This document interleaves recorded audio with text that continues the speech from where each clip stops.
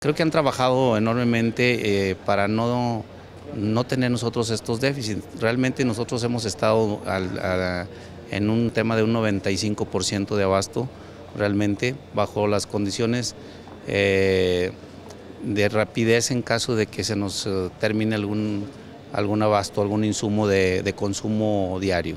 Creo que nosotros hemos recibido muy bueno el apoyo, muy bien el apoyo por parte de nuestras autoridades que han fundamentado no dejar eh, el hospital sin abasto, sino todo lo contrario, están preocupados por, por tenernos siempre bajo eh, un alto porcentaje de abasto y creo que así lo ha visto la, la, parte de los trabajadores y de los pacientes en esta unidad hospitalaria.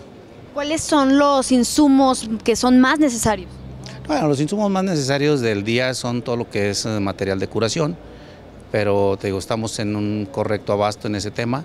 Eh, medicamentos, y hay algunas claves que en determinado momento eh, crean condicionantes de faltantes, pero vamos hasta los laboratorios que son los proveedores de los medicamentos, tienen desabasto.